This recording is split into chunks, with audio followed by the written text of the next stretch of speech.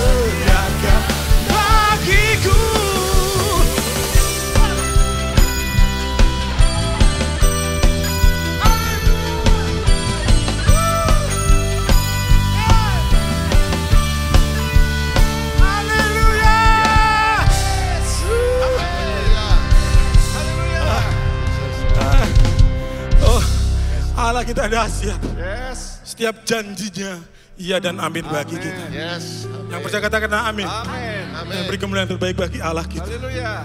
Haleluya.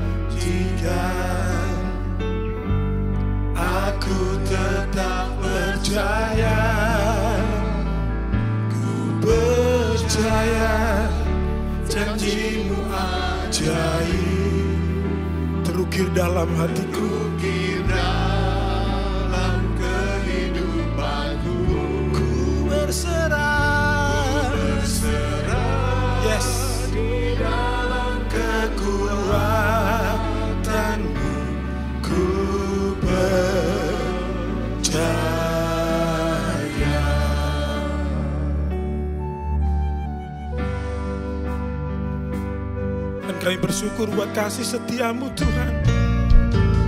Sungguh besar setia.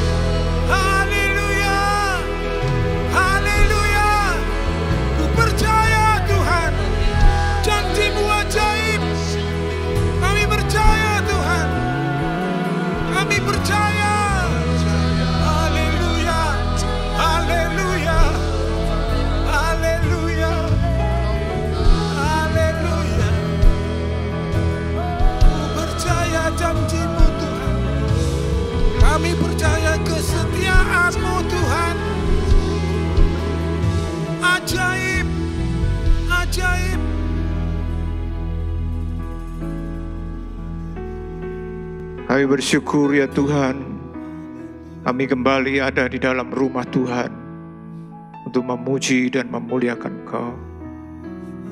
Biarlah setiap kami, baik kami yang di gereja maupun kami yang di rumah atau di mana pun, kami mengikuti ibadah saat ini Tuhan.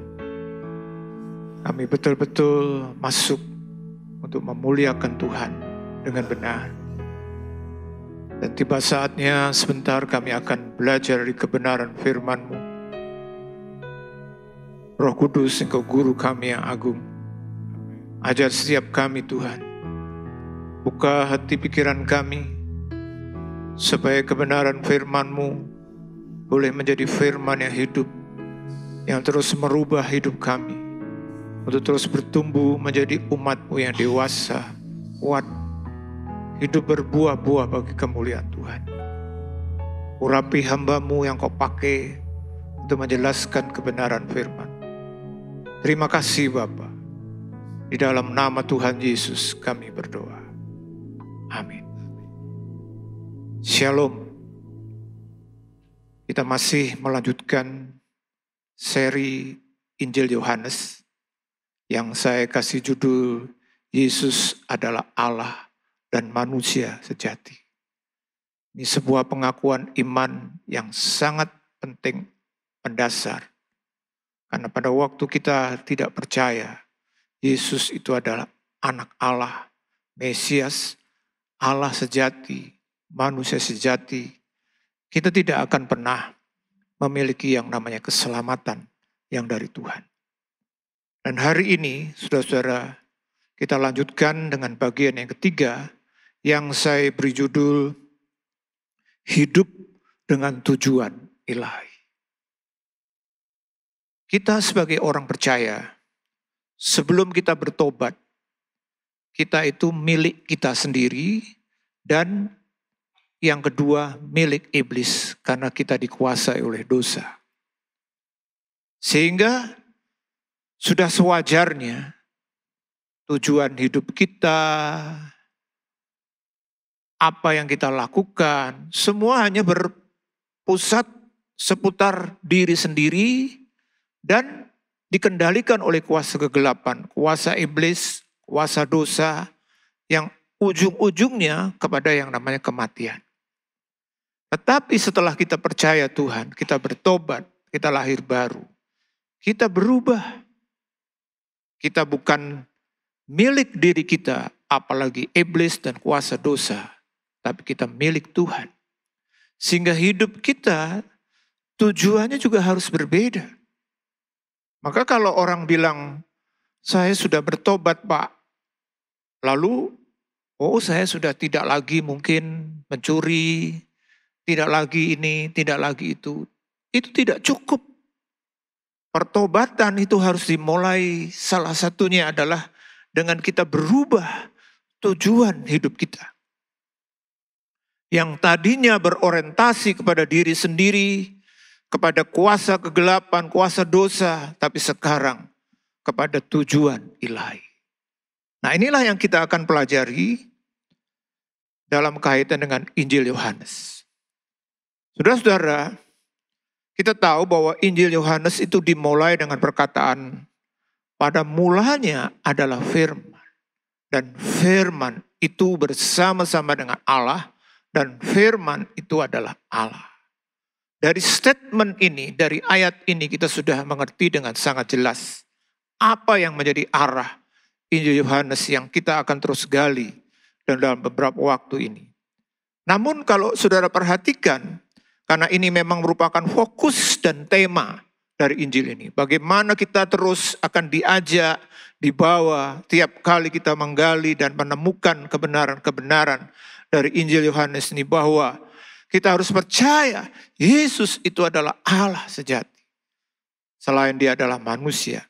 Namun kalau saudara perhatikan dalam pasal 1, pasal 1, yang lalu kita sudah belajar bagaimana di dalam pasal 1 ini kita sudah mulai meneliti, mengeksposisi dari ayat per ayat. Kalau saudara perhatikan dalam pasal 1, meskipun tema utamanya adalah kita sudah jelaskan bagaimana pasal 1 ini menekanannya adalah firman. Firman itu adalah firman yang menciptakan. Firman adalah firman yang hidup firman yang menjadi manusia itu terus dijelaskan. Tapi terselip sosok yang berbeda muncul. Seolah-olah lu kok hal lain muncul lagi itu apa? Soal Yohanes Pembaptis. Kalau kita baca misalnya dalam ayat 6 sampai 8 pasal 1 mulai muncul. Lalu juga ayat 15 juga muncul. Nanti kita baca juga dalam pasal satu berikutnya juga muncul. Pasal tiga juga. Nah inilah yang perlu, artinya apa saudara-saudara? Artinya sosok pribadi Yohanes Pembaptis ini penting sekali. Ini kita akan coba gali. Maka dari itu saya mulai dengan sebuah pertanyaan, siapakah sebenarnya Yohanes Pembaptis? Seberapa penting peranannya? Tentu dalam konteks dalam hal ini berkaitan dengan Tuhan Yesus yang adalah Yesus anak Allah, manusia sejati. Kita akan lihat yang pertama, saudara-saudara, Yohanes Membaptis itu sudah dinubuatkan dalam perjanjian lama sebagai Elia. Kita bisa baca dalam Lukas 1 ayat 16 sampai 17 dibacakan. Ia akan membuat banyak orang Israel berbalik kepada Tuhan, Allah mereka.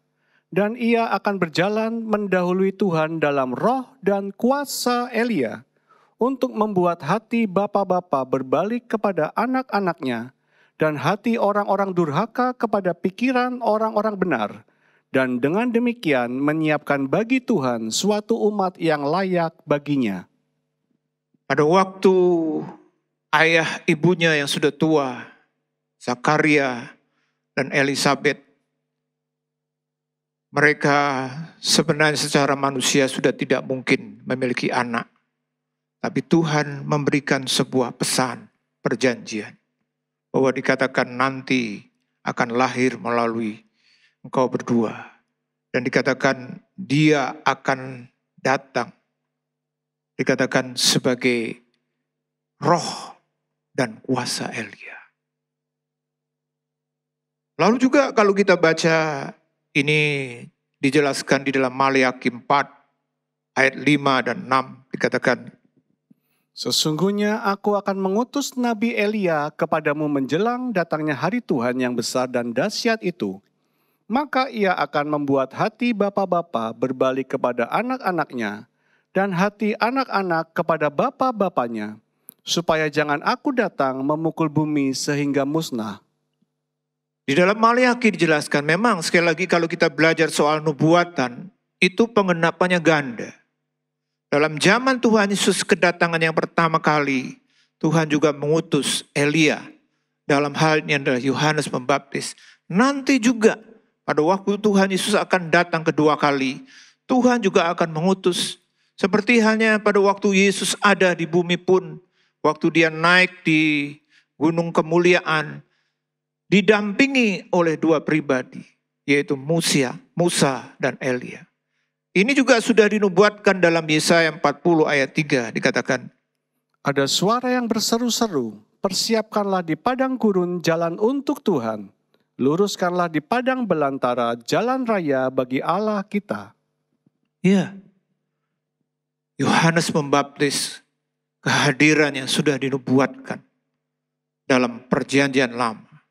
Akan datang seorang yang diutus oleh Tuhan dengan kuasa Elia.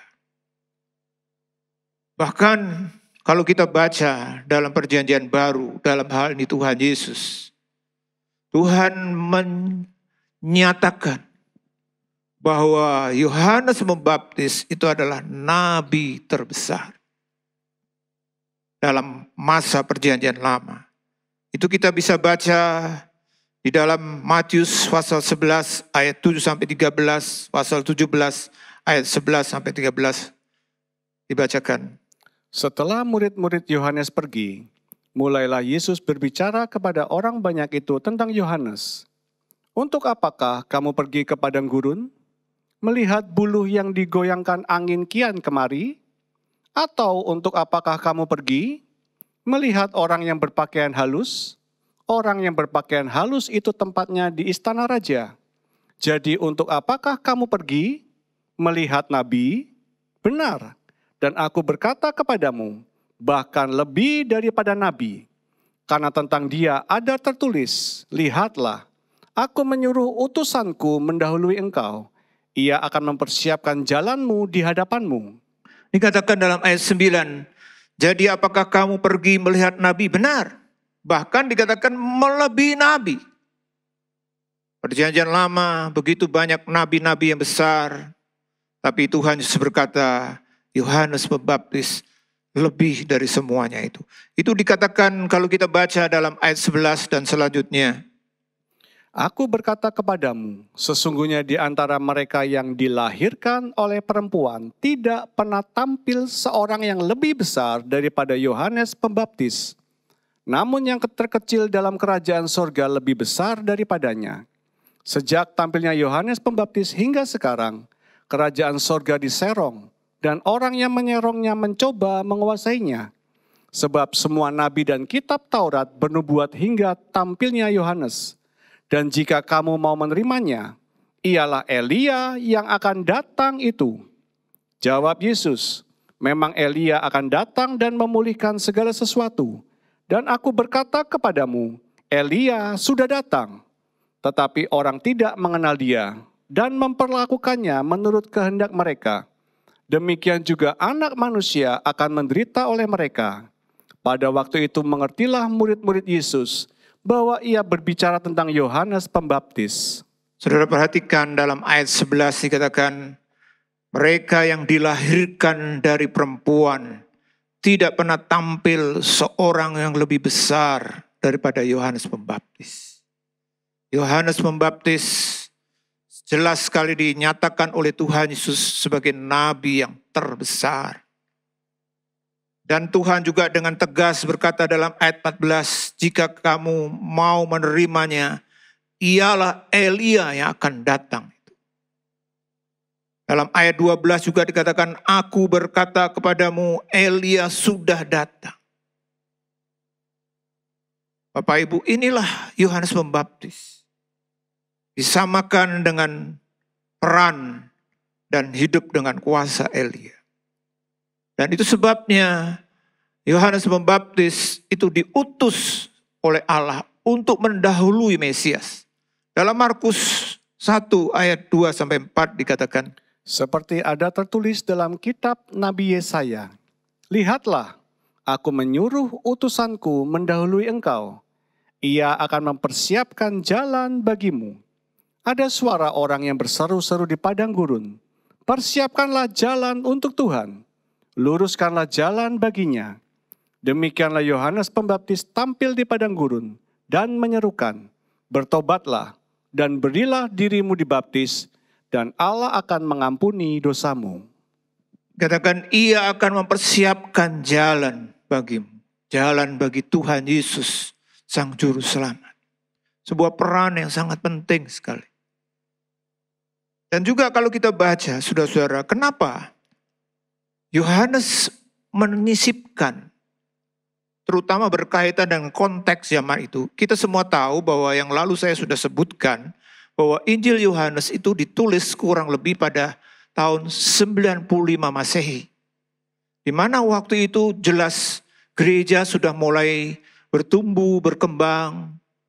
Lalu juga mulai ada penyesatan, ada ajaran gnostik dan sebagainya. Nah, Yohanes, Rasul Yohanes perlu untuk menjelaskan kenapa Yohanes membaptis ini disisipkan karena kalau kita baca ternyata Yohanes itu masih punya pengaruh di dalam kehidupan gereja awal. Kita bisa lihat misalnya dalam kisah Rasul 19 ayat 3 dan 4 dikatakan. Lalu kata Paulus kepada mereka, kalau begitu dengan baptisan manakah kamu telah dibaptis? Jawab mereka, dengan baptisan Yohanes. Kata Paulus, baptisan Yohanes adalah pembaptisan orang yang telah bertobat. Dan ia berkata kepada orang banyak, bahwa mereka harus percaya kepada dia yang datang kemudian daripadanya, yaitu Yesus. Jadi waktu Paulus melayani di Efesus, sebuah kota yang cukup jauh dari Yerusalem, ternyata ada mereka orang-orang yang menjadi pengikut Yohanes Pembaptis. Sehingga tidak heran waktu Paulus melayani, Paulus coba tanya, kalau begitu dengan Baptisan manakah kamu telah dibaptis? Dengan baptisan Yohanes. Juga dalam kisah Rasul 18 ayat 25 dikatakan. Ia telah menerima pengajaran dalam jalan Tuhan. Dengan bersemangat ia berbicara dan dengan teliti ia mengajar tentang Yesus.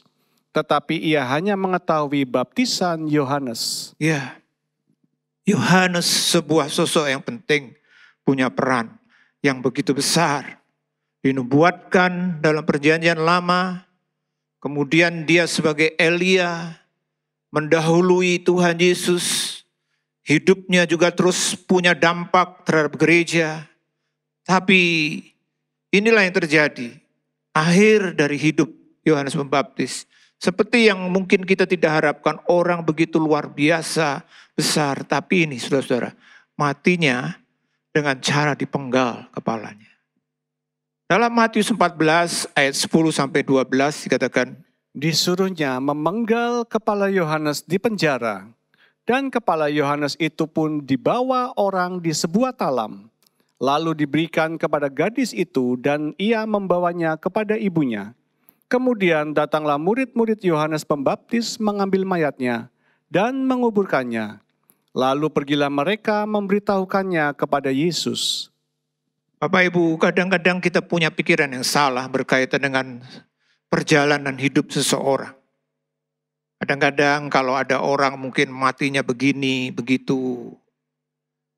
Kita mungkin berkata, wah berarti mungkin orang ini tidak diberkati Tuhan. Atau mungkin hidupnya penuh dengan dosa. Ternyata kita lihat salah satunya adalah Yohanes Pembaptis.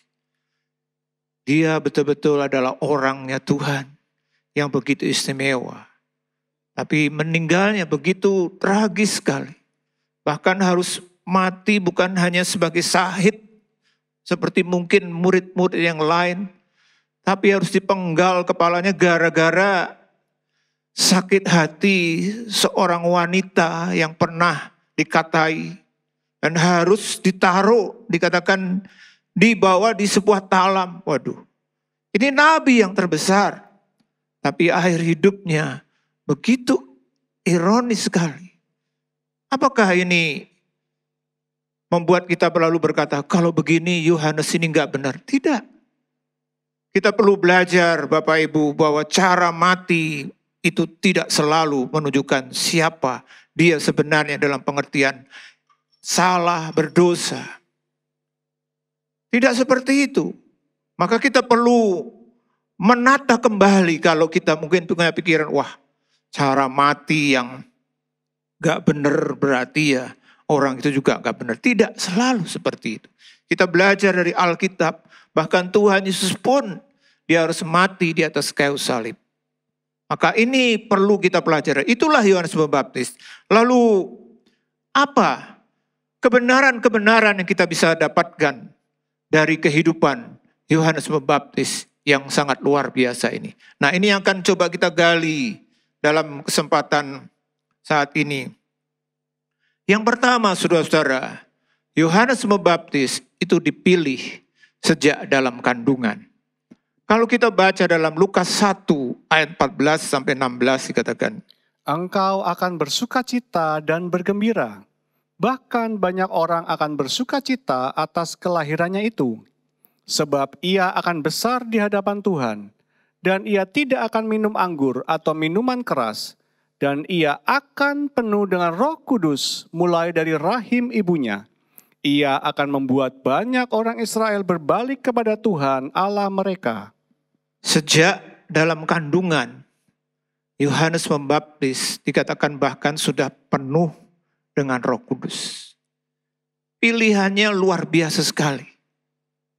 Jadi Tuhan itu pilih Yohanes Pembaptis Bahkan sebelum dia lahir Tuhan sudah nubuatkan lalu diteguhkan pada waktu dia masih di dalam kandungan. Sudah penuh dengan roh kudus. Nah kalau kita pelajari dalam Alkitab, ternyata bukan hanya Tuhan Yohanes Pembaptis yang Tuhan pilih dengan cara seperti ini. Hamba-hamba Tuhan juga yang lain, salah satunya kalau kita baca misalnya Rasul Paulus, meskipun dalam jalan Hidupnya pernah dia mengalami kehidupan yang memberontak, melawan Tuhan, melawan kekristenan. Kita baca dalam kesaksian Rasul Paulus, Galatia 1 ayat 15 dan 16 dikatakan, Tetapi waktu ia yang telah memilih aku sejak kandungan ibuku dan memanggil aku oleh kasih karunia-Nya, berkenan menyatakan anaknya di dalam aku, supaya aku memberitakan dia di antara bangsa-bangsa bukan Yahudi, maka sesaat pun aku tidak minta pertimbangan kepada manusia. Jelas sekali Paulus dikatakan, tetapi ia yang telah memilih aku sejak dalam kandungan ibuku. Kalau kita baca juga Yeremia, Nabi Perjanjian Lama, Yeremia 1 ayat 4 dan 5 dikatakan, Firman Tuhan datang kepadaku bunyinya, Sebelum aku membentuk engkau dalam rahim ibumu, aku telah mengenal engkau, dan sebelum engkau keluar dari kandungan, aku telah menguduskan engkau. Aku telah menetapkan engkau menjadi nabi bagi bangsa-bangsa. Saudara, hamba-hamba Tuhan dipilih bahkan sejak dalam kandungan. Tuhan itu adalah Tuhan yang memilih setiap hambanya. Lalu mungkin kita bertanya begini, kalau begitu apakah saya, kami tidak dipilih Tuhan? Apakah saya atau kita tidak dipakai Tuhan? Nah kita belajar. Kalau kita lihat di dalam kehidupan atau di dalam perjalanan Alkitab, kita menemukan bahwa sebenarnya setiap orang yang diselamatkan itu dipilih Tuhan bukan hanya sekali lagi untuk mendapat keselamatan, tapi dipilih untuk menjalani tujuan Tuhan. Memang kita harus akui ada orang-orang yang sangat istimewa karena anugerahnya. Seperti misalnya Yohanes Pembaptis sejak dalam kandungan sudah dinyatakan keterpilihannya. Rasul Paulus pun juga demikian. Lalu juga Yeremia misalnya sejak dalam kandungan. Tapi bukan berarti kalau kita mungkin berkata, waduh saya kan nggak mengalami seperti itu Pak. Berarti saya tidak dipilih. Tidak seperti itu. Saya ingat Bapak Ibu dalam hidup saya waktu saya masuk sekolah teologi ya, tahun 80. Saya jujur aja kalau ditanya, apakah waktu Bapak dipanggil Tuhan, Bapak mendapat tanda-tanda mujizat, atau mungkin pernyataan-pernyataan saya bilang tidak. Saya waktu itu hanya punya kerinduan yang kuat untuk melayani Tuhan. Dan karena itu saya memutuskan untuk belajar atau melayani. Tapi pernah satu kesempatan saya tanya kepada ibu saya, setelah saya masuk sekolah teologi, saya tanya, Mah, apakah pernah mungkin tidak tahu kapan ada hal yang Tuhan nyatakan sehingga kok saya ini sekarang bisa sampai jadi hamba Tuhan.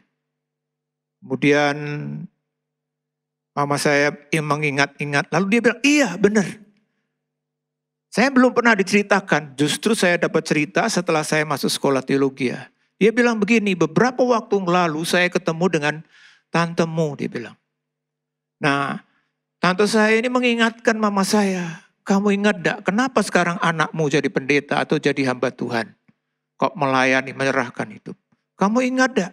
Rupanya mama saya diingatkan waktu saya kecil, kelas 3 SD, kami masih tinggal di Jepara waktu itu. Nah waktu saya tinggal kelas 3 SD itu, mama saya bilang saya mengalami satu sakit.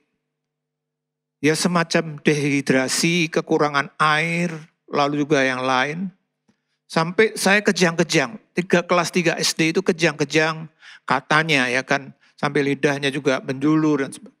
Dibawa ke rumah sakit Jepara, tidak bisa menangani karena dianggap peralatannya kurang. Sehingga harus dibawa ke Semarang. Itu tahun mungkin sekitar 70-an.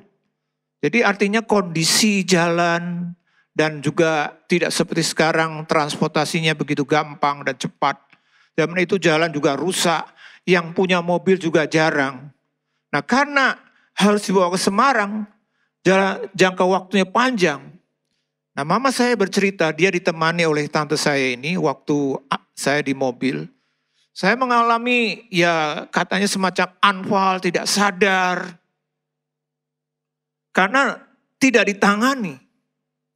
Nah di tengah-tengah kepanikan itulah Mama saya bilang, saya berdoa sama Tuhan.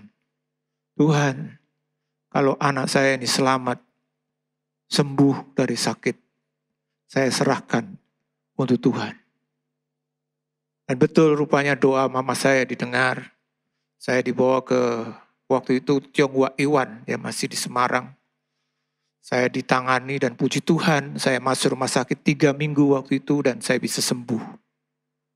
Walaupun akibat dari itu mama saya akhirnya sakit. Karena saking stres, saking begitu, begitu khawatirnya. Sampai ususnya itu menjadi lengket begitu. Tapi mungkin Bapak Ibu saya tidak tahu. Tapi yang jelas setiap kita mungkin kalau sampai menjadi hamba Tuhan, dipanggil Tuhan secara istimewa, ada tanda-tanda. Tapi kita harus tahu saudara-saudara, Walaupun kita mungkin tidak mengalami hal-hal yang istimewa, tapi kita harus tahu bahwa kita semua kalau diselamatkan, kita dipanggil dengan hidup tujuan ilahi.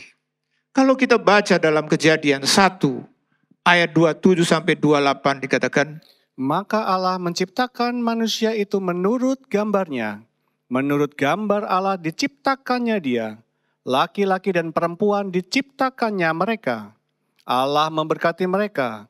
Lalu Allah berfirman kepada mereka, Beranak cuculah dan bertambah banyak, penuhilah bumi dan taklukkanlah itu, berkuasalah atas ikan-ikan di laut dan burung-burung di udara, dan atas segala binatang yang merayap di bumi.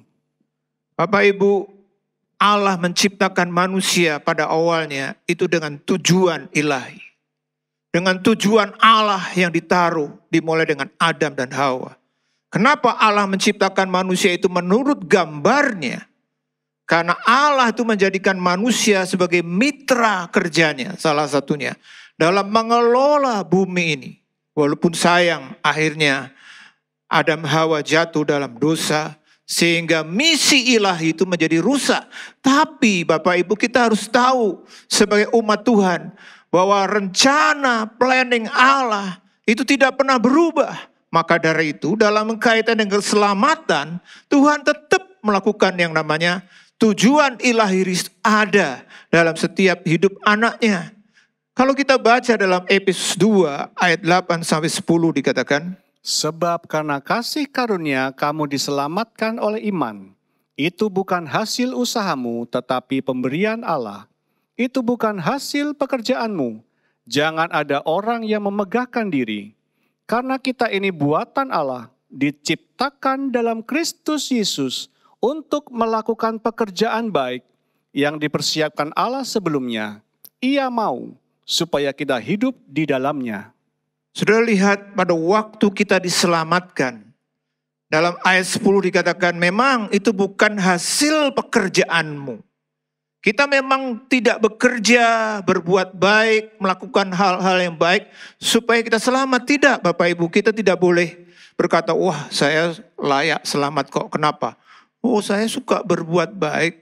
Saya pekerjaannya nggak pernah melakukan yang nggak benar. Tidak ada orang yang selamat hanya karena anugerah dan kita percaya dengan iman. Tapi pada waktu kita diselamatkan, seperti dikatakan dalam ayat 10 dikatakan, karena kita ini buatan Allah. Ini bagian dari waktu manusia pertama. Allah menciptakan, membuat Adam dan Hawa. Tapi karena mereka jatuh dalam dosa, misi Allah menjadi rusak. Tapi tetap Tuhan itu taruh. Makanya pada waktu kita itu diselamatkan dikatakan, ini bagian yang kedua dikatakan, diciptakan dalam Kristus Yesus. Sehingga dalam 2 Korintus 5 ayat 17 dikatakan barang siapa di dalam Kristus, dia adalah ciptaan yang baru. Apanya yang baru? Tujuan hidup kita, kodrat kita menjadi berbeda sekarang. Yaitu apa? Kita diselamatkan untuk melakukan pekerjaan baik. Ini tujuan ilahi atas hidup kita. Kita harus menemukan Bapak Ibu. Makanya kalau orang bilang selamat tidak ada kaitan dengan perbuatan baik. Tidak benar. Memang kita tidak pernah selamat karena kita berbuat baik. Tapi waktu kita selamat, kita dirubah, dikembalikan pada natur kita, pada kodrat kita sebagai manusia yang harus berbuat baik. Ini tujuan Allah dalam hidup kita.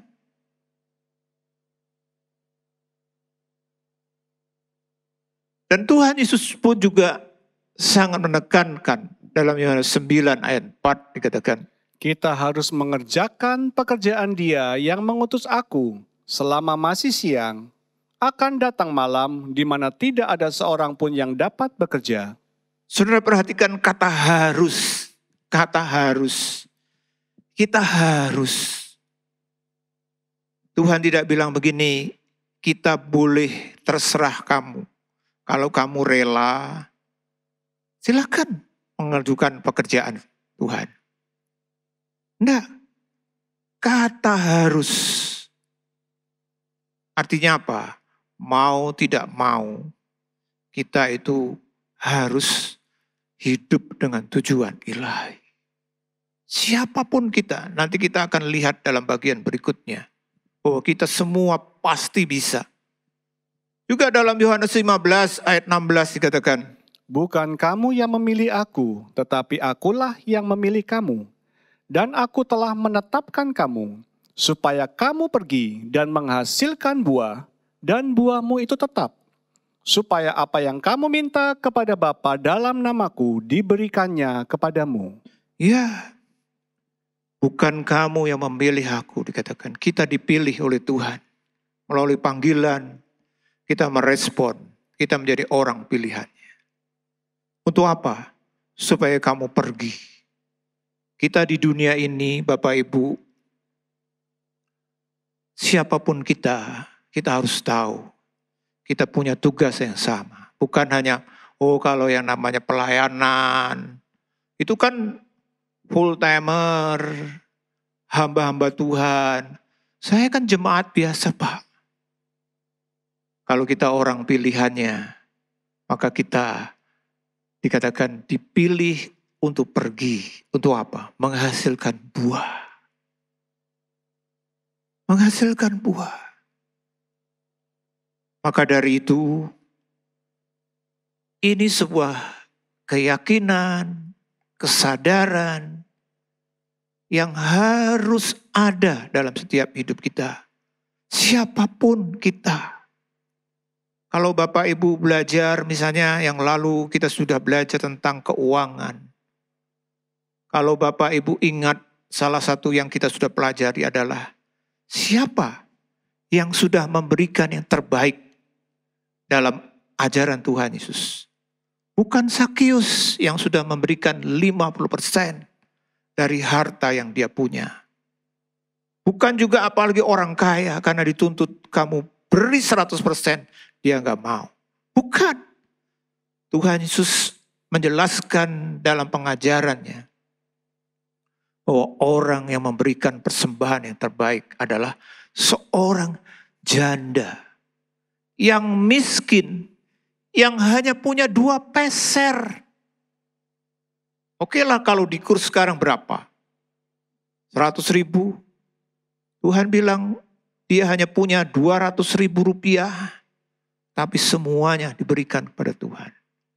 Pengajaran ini mengingatkan kepada kita Bapak Ibu bahwa setiap kita siapa pun kita harus punya dampak. Kita harus punya kehidupan yang betul-betul hidup dengan tujuan ilahi. Bahkan dengan uang yang sedikit pun yang dikatakan itu semua hidupnya, itu Tuhan minta. Bapak, Ibu, saudara-saudara, bagaimana dengan kita? Tuhan sudah beri kita sehat. Tuhan sudah beri kita waktu, minimal kita punya waktu. Sudahkah kita melakukan yang namanya hidup untuk Tuhan, bekerja untuk Tuhan, melakukan tujuan ilahi dalam hidup kita? Ini yang perlu kita pelajari. Dan Yohanes Pembaptis mengajarkan kita. Dan mungkin kita berkata begini, Pak, saya itu nggak bisa. Apa yang saya bisa lakukan, Pak? Kuncinya ini, nah ini, saudara-saudara. Kenapa Yohanes bisa? Kenapa Paulus bisa? Kenapa Tuhan Yesus bisa? Karena ini hidup penuh Roh Kudus. Ini kuncinya. Kalau kita baca dalam Lukas 1 ayat 15. Sebab ia akan besar di hadapan Tuhan, dan ia tidak akan minum anggur atau minuman keras, dan ia akan penuh dengan roh kudus mulai dari rahim ibunya. Nah ini, Yohanes Pembaptis kenapa mampu untuk memikul tanggung jawab yang begitu besar menjadi seperti El dengan kuasa Elia bergerak mempertobatkan begitu banyak, membaptiskan sampai dia punya dampak terhadap gereja awal begitu luar biasa. Karena kuncinya Yohanes Pembaptis penuh dengan Roh Kudus. Bahkan sejak dalam kandungan. Makanya Bapak Ibu, kalau kita punya anak atau kita sedang hamil. Pernahkah kita mendoakan calon cucu kita, calon anak kita tumpang tangan? Saya teringat kita pernah mengadakan semacam sekolah untuk anak-anak seperti Injil liburan, ya kan. Waktu itu kita doakan untuk kepenuhan Roh Kudus. Anak-anak sejak kecil pun juga bisa penuh dengan Roh Kudus. Apakah hanya Yohanes Pembaptis saja yang penuh dengan Roh Kudus? Kalau kita baca sebagai contoh saja, Daud misalnya, begitu luar biasa karya, kerja, dan apa yang dia lakukan. Dalam 1 Samuel 16, kalau kita ditanya apa kuncinya? Penuh dengan roh kudus. 1 Samuel 16 ayat 13 dikatakan, Samuel mengambil tabung tanduk yang berisi minyak itu dan mengurapi Daud di tengah-tengah saudara-saudaranya.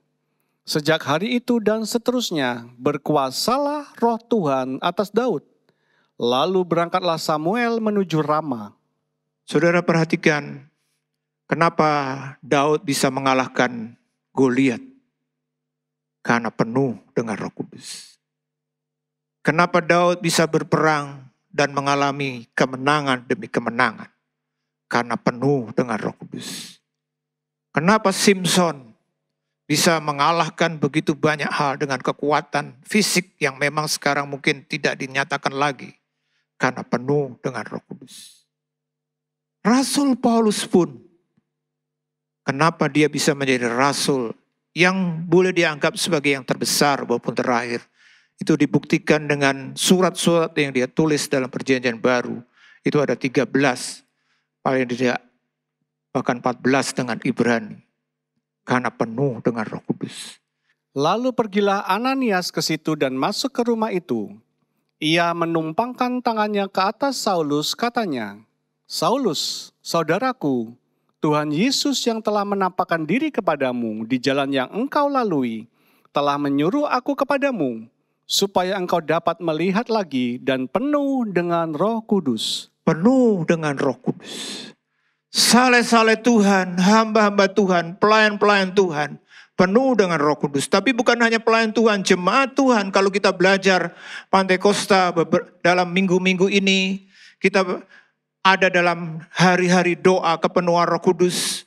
Kita peringati setiap tahun, siapa yang penuh dengan roh kudus pada waktu gereja awal. Ada 120 orang dimulai. Dan mereka bukan hanya rasul, jemaat biasa juga penuh dengan roh kudus. Bapak, Ibu, Saudara-saudara, maksud dari penuh roh kudus bagi pelayannya, bagi setiap kita, kita perlu penuh roh kudus.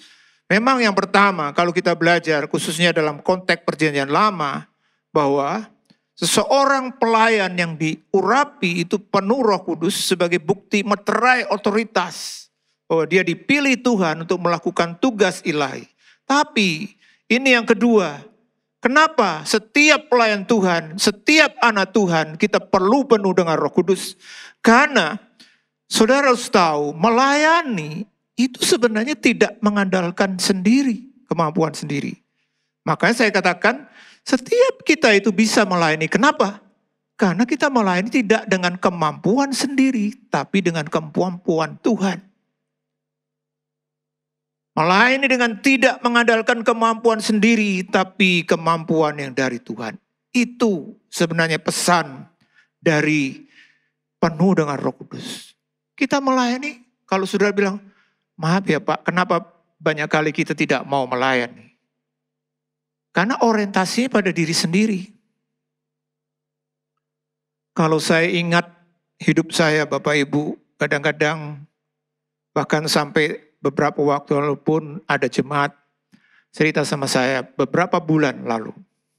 Pak, saya barusan ketemu dengan seorang hamba Tuhan, katanya waktu kuliah teman Bapak di Abdiel.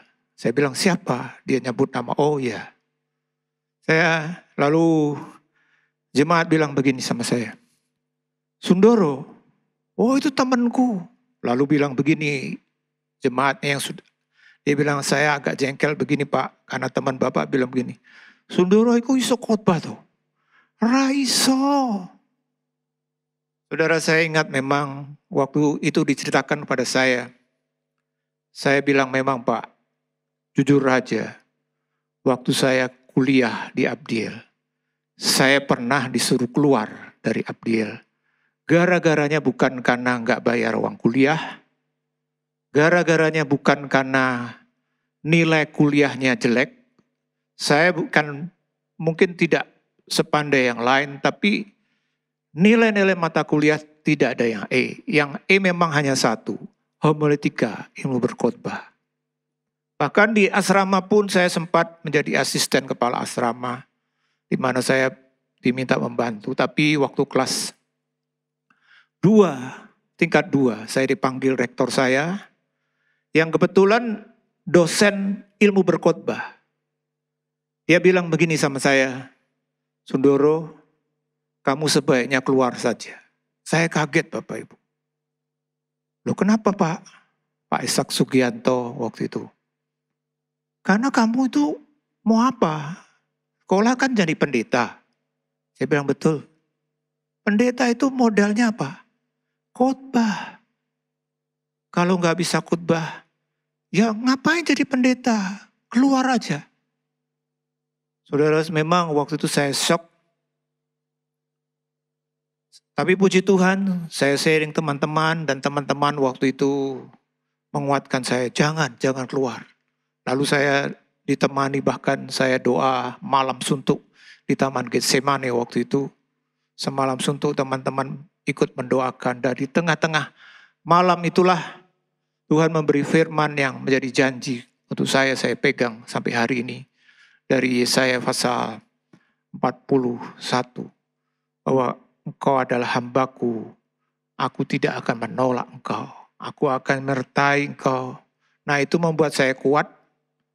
Meskipun memang kalau Bapak Ibu memang mengikuti perjalanan saya berkhotbah di GPT ini juga memang saya harus akui. Misalnya waktu di Seteran, waktu itu ada orang bilang sama saya, Pak, jujur aja ya Pak, kalau dulu Bapak khotbah, saya tahu Bapak yang khotbah, saya harus bawa bantal dari rumah.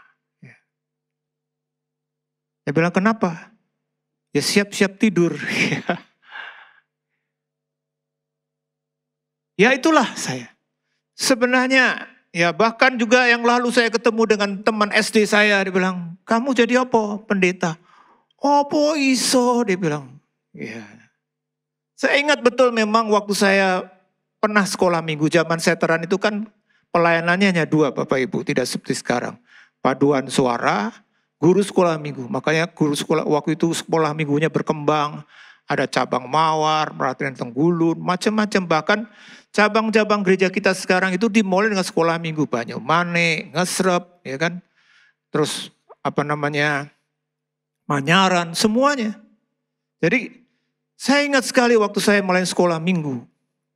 Saya nggak mau cerita. Kenapa? Karena saya nggak bisa. Saya pernah satu kali mimpin puji-pujian. Karena saya terantukan deket Bapak Ibu di sini. Itu tempat duduknya karena saking mepetnya. Saya mulai, saya bilang saya nggak mau. Saya mau bantu absen saja. Karena absen kan, enggak ayo mulai. Karena sudah beberapa bulan saya disuruh mimpin pujian. Anak-anaknya memang penuh di sana, ya kan. Saya latihan itu saya ingat dua minggu. Misalnya nyanyian Yesus pokok, kita carangnya. Lalu saya mulai maju, saudara-saudara. Saya mimpin, saya anak-anak selamat pagi. Ya, tidak ada masalah. Waktu mulai nyanyi, ada seorang anak di depan itu teriak sama saya, Om, Om, kakinya kok ikut goyang Om. Waduh, saudara. Waduh, saya itu langsung, langsung apa? Nggak bisa ngomong, saudara-saudara. Untung ada senior yang waktu itu apa namanya, ngerti kondisi saya yang nervous, ya kan, bingung gitu karena dikatain, oh om kok kakinya ikut goyang. Akhirnya saya setelah itu saya bilang, saya waktu itu kebetulan kan dampingi Kak Ruth sebagai pengerja, saya nggak maulah kalau disuruh yang lain. Pokoknya saya maunya cuman beres-beres bangku, lalu absen itu saja. Itulah saya Bapak Ibu. Kalau saya tiap kali memikirkan bahwa melayani itu saya bisa, saya nggak akan pernah bisa. Kita harus tahu Bapak Ibu, kenapa kita harus melayani? Karena roh kudus. Maka dari setiap umatnya harus terlibat dalam pelayanan. Harus saya katakan. Kenapa? Karena melayani itu tidak dengan kemampuan kita. Justru waktu kita melayani dengan kemampuan kita, kita mulai menjadi salah. Hidup melayani itu mengandalkan Tuhan. Nah kalau mengandalkan Tuhan, apa yang tidak bisa? Kalau Tuhan mau, bisa setiap kita.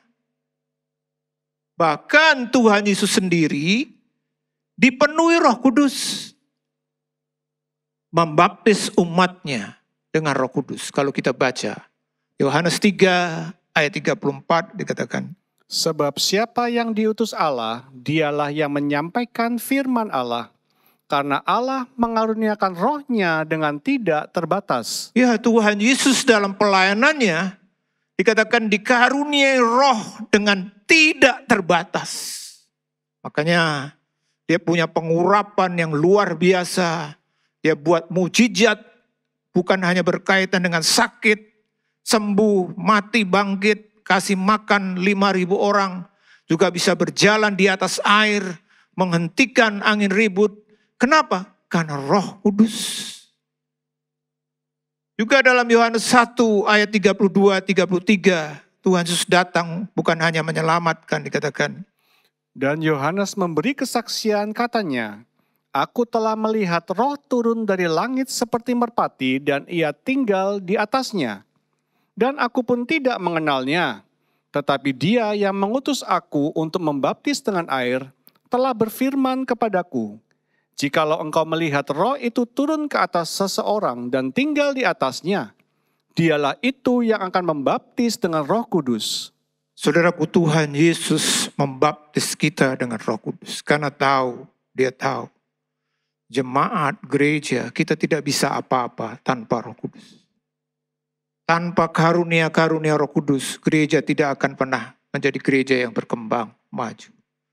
Jadi maka dari itu seharusnya kan tidak ada alasan bagi kita, Pak, sorry ya Pak, saya nggak mau melayani karena saya nggak bisa. Karena apa? Kita melayani dengan kuasa roh kudus. Kita melayani dengan kemampuan Tuhan, bukan kemampuan kita. Nah maka dari itu mari kita aktifkan karunia-karunia roh kudus. Kita perlu aktifkan. Saya tunjukkan salah satu contoh karunia yang Tuhan nyatakan jelas dengan Alkitab. Di dalam Alkitab. Di mana kita perlu aktifkan. Karena setiap kita kalau kita penuh roh kudus. Kita dibaptis dengan roh kudus. Maka melalui kita itu kita bisa nyatakan, kita bisa aktifkan. Salah satunya adalah karunia nubuat. Mungkin kita berkata, saya dulu juga berpikir, ah karunia saya memang bukan nubuat. Kebetulan saya tidak peka kalau beberapa kali ada penglihatan, kemudian pernyataan-pernyataan profetik, itu isi saya lebih peka di situ. Sehingga waktu itu saya berpikir, ah bukan karunia saya. Tapi setelah kami belajar juga, ternyata Alkitab juga mengajarkan bahwa setiap kita itu bisa kalau mau. Dalam 1 Korintus 14 ayat 5 contohnya misalnya dikatakan.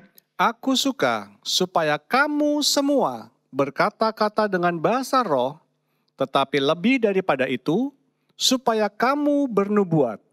Sebab orang yang bernubuat lebih berharga daripada orang yang berkata-kata dengan bahasa roh, kecuali kalau orang itu juga menafsirkannya, sehingga jemaat dapat dibangun. Rasul Paulus berkata, Aku suka supaya kamu semua berkata-kata dengan bahasa roh. Bahasa roh penting, kita semua biasanya selama ini kita usahakan, kita mendapatkannya, kita mempraktekannya. Tapi Paulus berkata juga, supaya kamu semua apa? Bernubuat.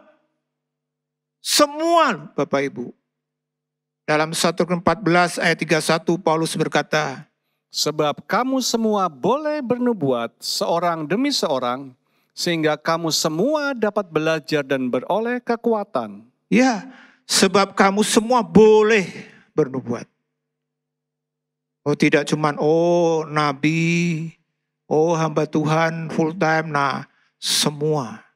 Termasuk Bapak Ibu kita semua, termasuk semua. Semua boleh bernubuat, semua dapat belajar.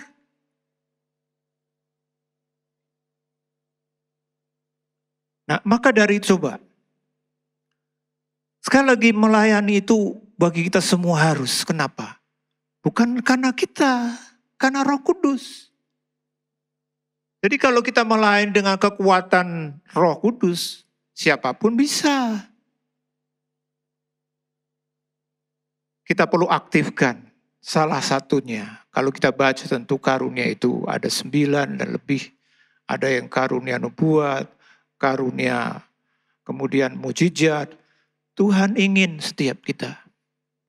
Nah lalu saya memberikan sedikit saran berkaitan dengan firman Tuhan. Apa langkah-langkah kita untuk kita aktifasikan karunia roh kudus.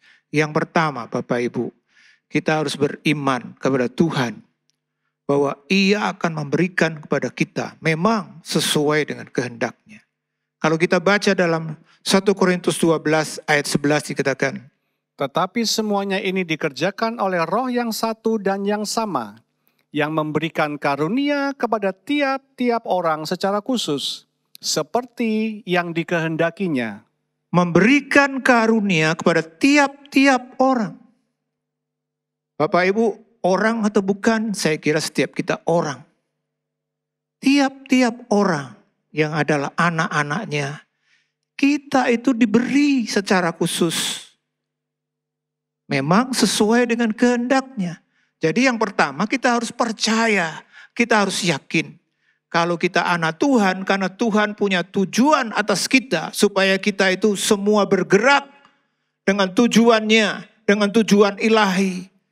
Maka yang kita lakukan, kita harus percaya, beriman bahwa Tuhan itu pasti memberi kepada kita. Tentu sesuai dengan kehendaknya untuk memperlengkapi kita melayani dengan karunia-Nya. Tiap-tiap orang sesuai dengan kehendaknya. Itu yang pertama. Bagaimana kita mengaktifasi karunia Roh Kudus? Kita harus percaya, yakin Tuhan memberi. Dengan keyakinan itu, yang kedua Bapak Ibu, kita harus memiliki kerinduan dan niat. Nah, kata kuncinya niat ini. Yang benar dalam menerima karunia Roh Kudus. Dalam 1 Korintus 12 ayat 31 dikatakan, Jadi berusahalah untuk memperoleh karunia-karunia yang paling utama, dan aku menunjukkan kepadamu jalan yang lebih utama lagi. Ya berusahalah dalam terjemahan yang literal dikatakan desire earnestly. Artinya betul-betul di ah, harus dapat. Nah ini masalahnya kenapa kadang-kadang yang satu dapat yang satu tidak. Karena yang satu doa sekali, minta sekali, cari sekali nggak dapat. Ya sudahlah memang harus. Dikatakan juga dalam 1 Korintus 14 ayat 1.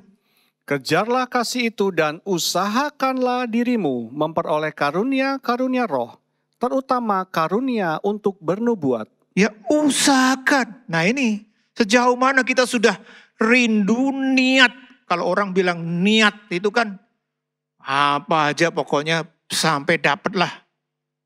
1 Korintus 14 ayat 39 juga dikatakan Karena itu, saudara-saudaraku, usahakanlah dirimu untuk memperoleh karunia untuk bernubuat, dan janganlah melarang orang yang berkata-kata dengan bahasa roh. ini. Usahakanlah. Saudara ini yang kadang-kadang kurang dalam diri kita. Kita hanya merasa ya gak dapat ya sudahlah. Betul-betul rindu, niat betul-betul. Nah kalau kita sudah dapat, karena ini kebutuhan kita Bapak Ibu. Makanya dalam Lukas 11 kan juga dikatakan, siapa yang minta akan diberi, siapa yang mencari mendapat, siapa yang mengetuk. Lalu dalam bagian kuncinya, Lukas berkata, kalau orang menerima, minta roh kudus, maka Allah akan memberikannya. Karena apa? Allah lebih tahu dari kita bahwa kita butuh roh kudus. Saudara kita tidak mungkin bisa menjadi orang Kristen yang berkemenangan, berbuah, maksimal tanpa roh kudus. Gak bisa. Jadi Tuhan tahu. Seperti hanya dengan orang tua. Anak-anak gak perlu, gak pernah minta, Pak belikan aku pensil Pak. Belikan aku buku Pak. Gak pernah. Kita orang tua sudah tahu. Orang sekolah harus. Diusahakan semuanya. Demikian juga dengan kita. Yang ketiga, saudara-saudara, kita harus jalankan dan terus kobarkan karunia-karunia yang telah dianugerahkan.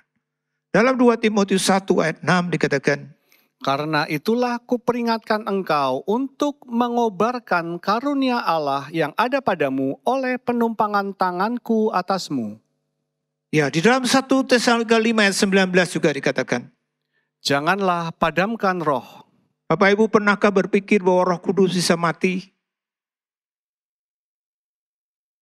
Apakah roh kudus bisa mati?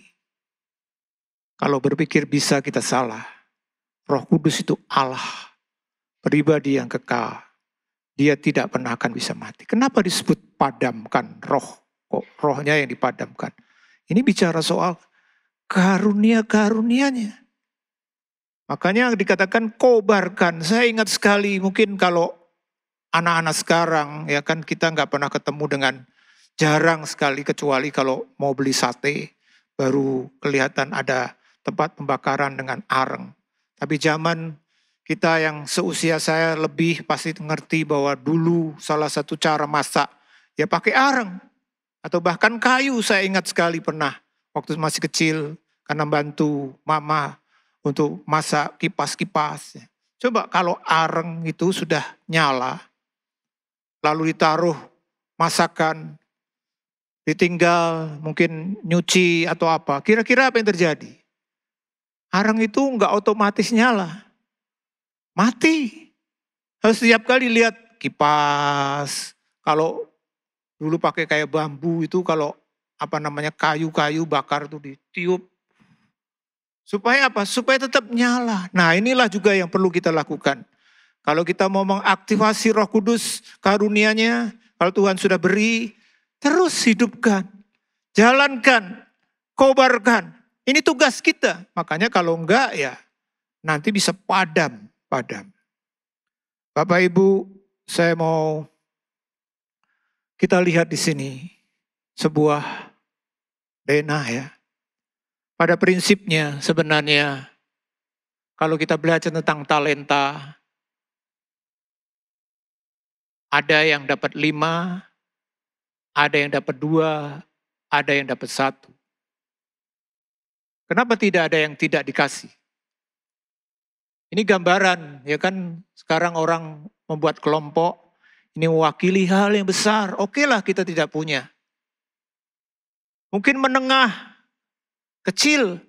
Tapi Bapak Ibu kita perlu tahu, setiap kita siapa pun, kita tidak pernah kosong. Tidak pernah di mana kita tidak diberi karunia. Maka setiap kita harus terus hidup dengan tujuan al ilahi kita. Temukan. Maka kalau saudara dan saya berkata saya nggak mau melayani, artinya kita sedang tidak mau hidup dengan iman mengandalkan Tuhan. Itu salah satu bentuk melayani itu sedang belajar mengandalkan Tuhan. Kemampuan dari Tuhan, bukan kemampuan kita. Puji Tuhan, mari kita datang pada Tuhan. Saya undang kita berdiri, juga saudara-saudara yang di rumah. Kalau kita sama-sama beribadah, kita mau berdiri, kita nyanyikan nyanyian nyanyian Roh Kudus hadir di sini.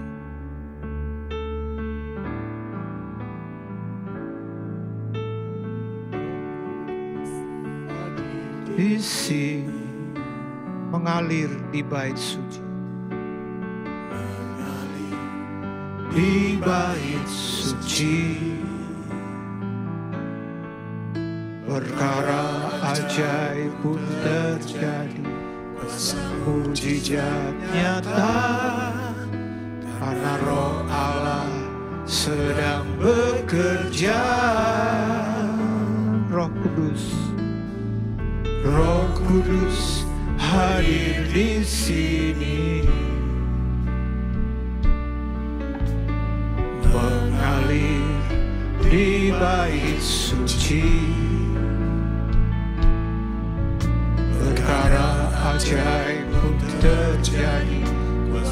mujizat nyata karena roh Allah sedang bekerja.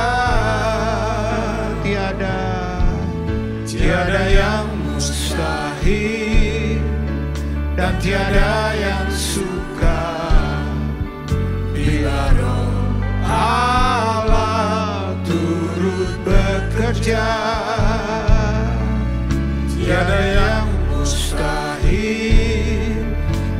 bagi orang percaya karena Allah turut bekerja di antara kita. Tiada yang Tiada mustahil. yang mustahil. Dan tiada yang suka bila roh Allah turut bekerja tiada yang mustahil bagi orang percaya karena roh Allah turut bekerja di antara kita Bapak Ibu, saudara-saudara dikasih Tuhan. Kita dipanggil, dipilih, diselamatkan. Supaya setiap kita hidup dengan tujuan ilahi. Dengan tujuannya Tuhan, bukan tujuan kita lagi. Maka berkaitan dengan itu, Tuhan Yesus datang bukan hanya menyelamatkan, tapi dia membaptis orang-orang percaya dengan roh kudusnya. Sehingga setiap kita itu tidak ada yang punya alasan untuk berkata, saya tidak bisa, saya tidak mau berbuat bagi Tuhan. Karena waktu kita melakukan berargumentasi, beralasan seperti itu, Sebenarnya kita sedang tidak hidup dengan iman yang benar. Sebenarnya kita sedang tidak percaya bahwa kita ada Roh Kudus yang memenuhi hidup kita. Atau sebaliknya, justru kita menjadi sombong. Karena aku bisa, aku kan yang memang bisa. Ini menjadi salah. Kita harus terus penuh dengan Roh Kudus. Salah satunya adalah supaya setiap kita diperlengkapi untuk kita menjadi umatnya yang melakukan tujuan ilahi. Kita dipanggil, kita dipilih supaya kita pergi dikatakan dan menghasilkan buah yang tetap. Setiap kita bisa kalau kita penuh dengan Roh Kudus. Mari saat ini kita datang pada Tuhan. Kita minta dengan sungguh-sungguh roh kudusnya untuk memenuhi kita. Memakai kita dan kita mulai aktifkan. Kita sama-sama menyanyikan roh kudus hadir di sini. Oh haleluya. Roh kudus hadir di sini. Jamah kami roh kudus. Penuhi setiap kami umatmu Tuhan. Biar setiap kami menjadi bermanfaat, menjadi maksimal bagi kemuliaan bekerja Oh haleluya. Roh Kudus hadir di sini Setiap kita minta, penuhi kami roh kudus.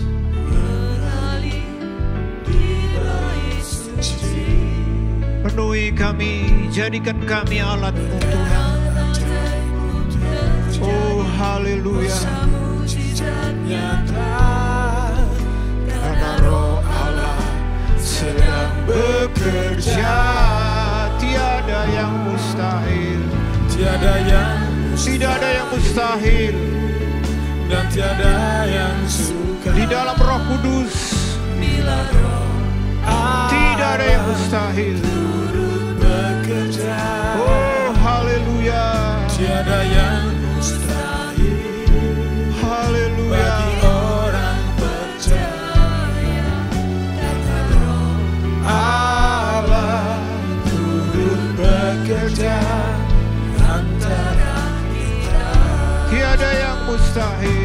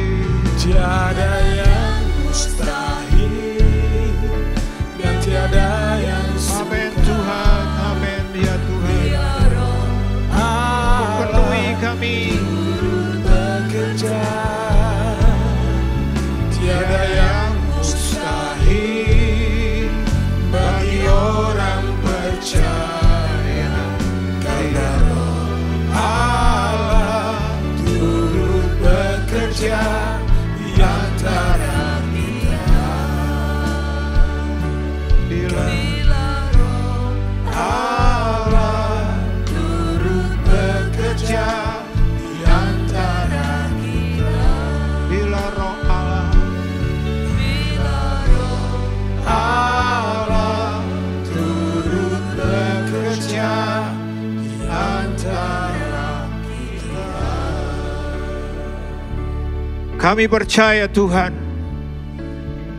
pada waktu kami ada di dalam kepenuhan Roh Kudus, tidak ada yang mustahil.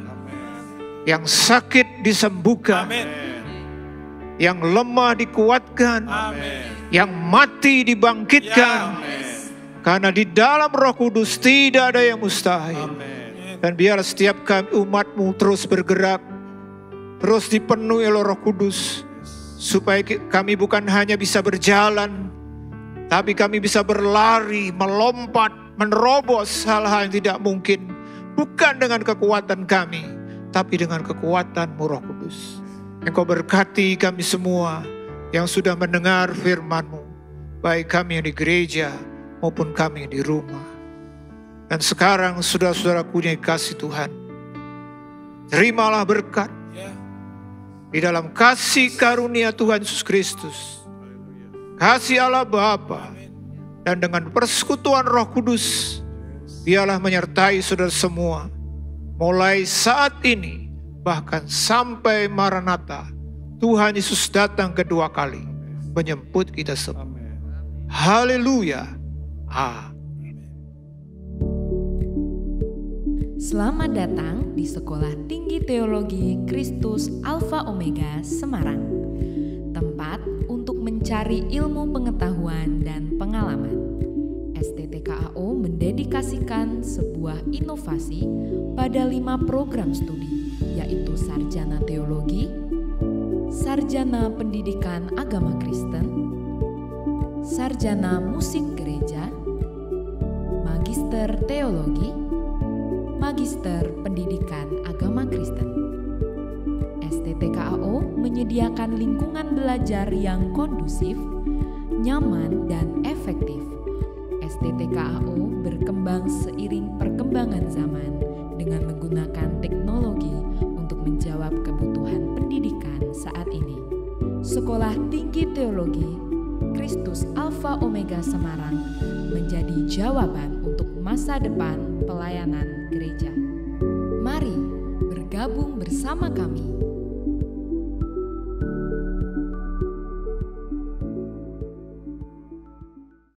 Hai Inspiration People, jangan lupa untuk mengikuti iGen Online Service setiap Sabtu jam 5 sore di YouTube channel Generasi Inspirasi. God bless. Penyaluran kolekte maupun persembahan lainnya dapat dilakukan melalui transfer ke nomor rekening gereja dengan nomor 009 707 2071 atas nama Megawati dan Lee Irwande atau dengan scan QR code berikut ini.